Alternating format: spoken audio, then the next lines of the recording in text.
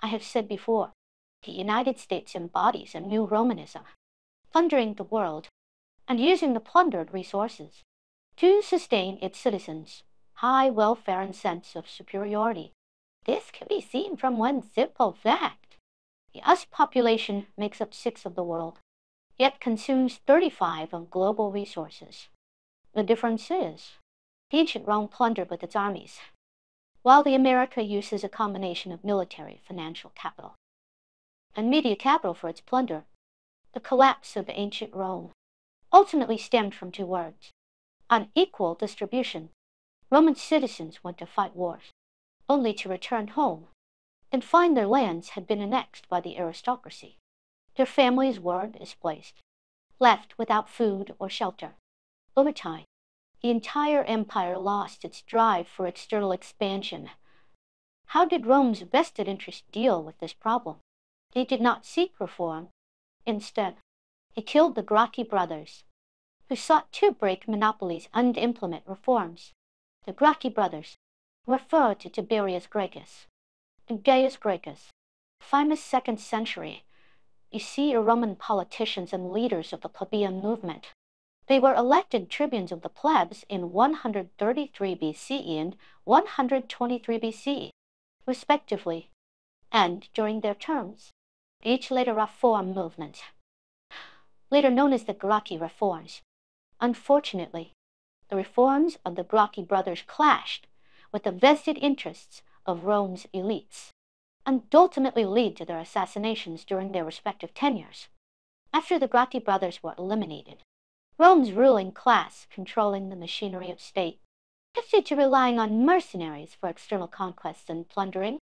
This model extended the empire's glory for a time. It did not address the root of the problem, but it did not solve the fundamental problem. Mercenaries, unlike Roman citizens, felt no allegiance to the empire. They simply worked for pay, and their loyalty was to their employer, not the state.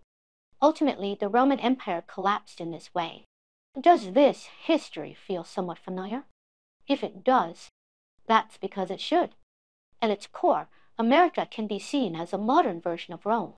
While their methods of external expansion and plunder differ, the essence remains the same. The Democratic Party is akin to the new Roman aristocracy, with the top 10 of elites, controlling nearly 80 of the nation's resources. Meanwhile, the bottom 50 of the population, holds less than 10. This sense of deprivation among the populace is growing ever more intense. This is evident in a single statistic. Over the past few decades, the median income of Americans has hardly changed. However, when adjusted for inflation, in reality, the income of ordinary Americans has declined significantly over the years. In the past, a blue collar worker in the U.S. could hold a single job and support a middle class family with dignity. But now, even with both spouses working hard, they still find themselves struggling to make ends meet. Many Americans are forced to take on two or three jobs just to barely sustain their livelihoods. In stark contrast is the extravagance of America's elite class.